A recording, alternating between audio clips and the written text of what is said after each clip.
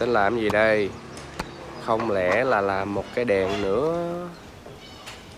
Ờ, giấy vệ sinh nè. Cuộn lại, nhét vô. Đó, biết ngay mà.